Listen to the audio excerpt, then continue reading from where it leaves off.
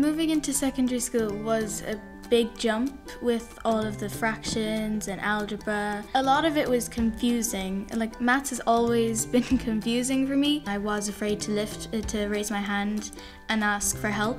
Breakthrough maths was definitely the thing I needed to help me catch up with the rest of my class. I absolutely love film and when I joined Breakthrough Maths, they found a way to implicate my love of film into helping me understand maths.